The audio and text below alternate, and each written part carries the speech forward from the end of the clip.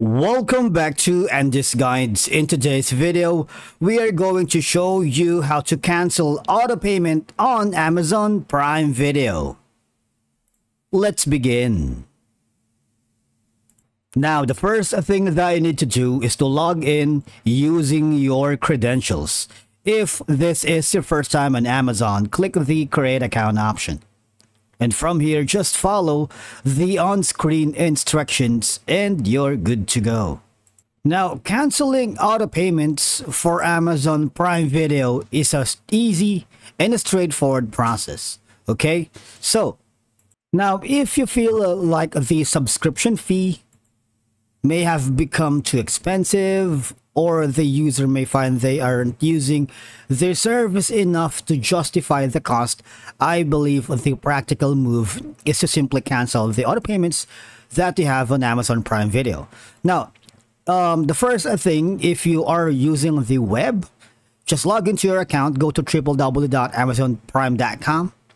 Okay, and then you simply navigate to this section on the upper right corner and click on account and settings.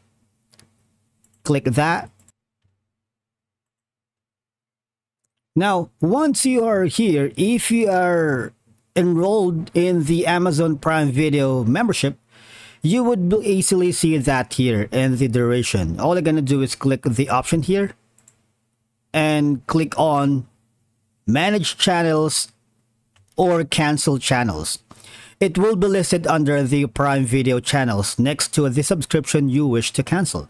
And of course, obviously, just confirm the cancellation, follow the on-screen prompts to confirm the cancellation, and Amazon may ask for you to reason for canceling, and of course, may offer alternatives to keep your subscription active. All right. And as of the moment, as you can see, I don't have a subscription on Prime Video, so I can't cancel anything.